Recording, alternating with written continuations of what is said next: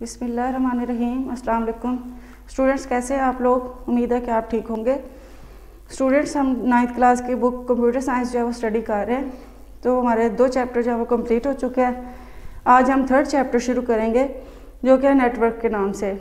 जो third chapter network है, इसमें हम जो नेटवर्क वाला चैप्टर है, इसमें हम स्टडी करेंगे कि नेटवर्क है व्हाट इज़ नेटवर्क और फिर आ जाएगा हमारे पास कि नीड ऑफ़ नेटवर्क है एडवांटेजेस ऑफ़ नेटवर्क उसके बाद फिर हम इसमें डिस्कस करेंगे कि हमारे पास जो है क्लाइंट सर्वर नेटवर्क क्या होता है और नेटवर्क कनेक्शन के टाइप्स क्या हैं और इसका जो फ़िज़िकल स्ट्रक्चर है लेआउट है नेटवर्क का वो स्टडी करेंगे।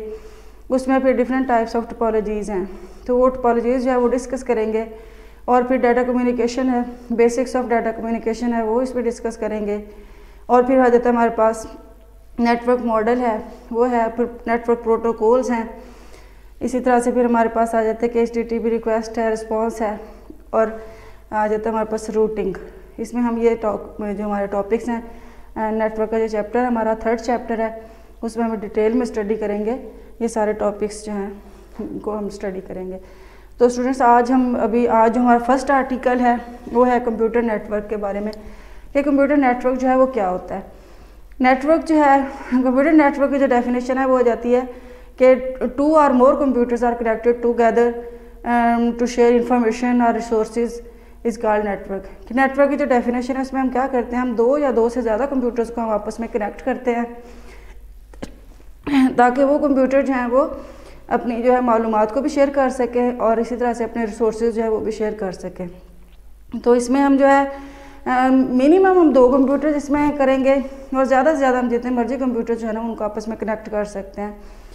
तो नेटवर्क में हम क्या करते हैं कंप्यूटर्स को कनेक्ट कर देते हैं।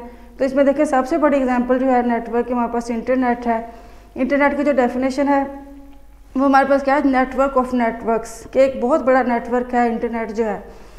अब देखिए इंटरनेट पे हम क्या करते हैं कि हम अपनी शेयरिंग कर लेते हैं इन्फॉर्मेशन हम उसमें जो है वीडियो गेम्स है, वो ऑनलाइन खेल सकते हैं। इसी तरह से अपनी ईमेल कर सकते हैं। हम डाटा कम्युनिकेशन अपनी इन्फॉर्मेशन जो है दूसरे के साथ शेयर कर सकते हैं।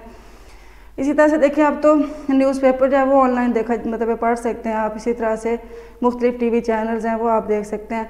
मतलब ये कि इंटरनेट के ज़रिए आप तो आप मतलब ऑनलाइन शॉपिंग है, वो आप कर सकते हैं। और इस तरह से, और ऑनलाइन जो है एजुकेशन है, वो हमें कंप्यूटर के ज़रिए जो है इंटरनेट के ज़रिए हम, वो हम घर बैठे जो है ना हासिल कर सकते हैं। एग्ज़ाम जो है, वो आपके घर बैठे हो सकते हैं। मतलब ये कि इंटरनेट के ज़रिए हम जो है, इसने हमें मतलब हमारी लाइफ को बहुत ईजी कर दिया है। कि हम हर काम जो है वो आसानी से कर सकते हैं।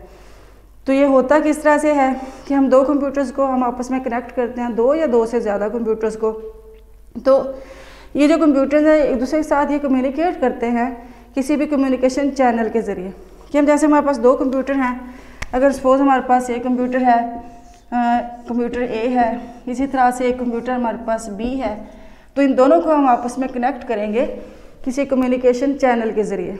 कि हम कंप्यूटर्स को जो आपस में कनेक्ट करते हैं, किसी कम्युनिकेशन चैनल के ज़रिए, इनके दरमियान में हम कोई मीडियम यूज़ करते हैं, जिसको यूज़ करते हुए ये दोनों कंप्यूटर जो हैं ए और बी ये अपनी इन्फॉर्मेशन जो है वो शेयर करेंगे।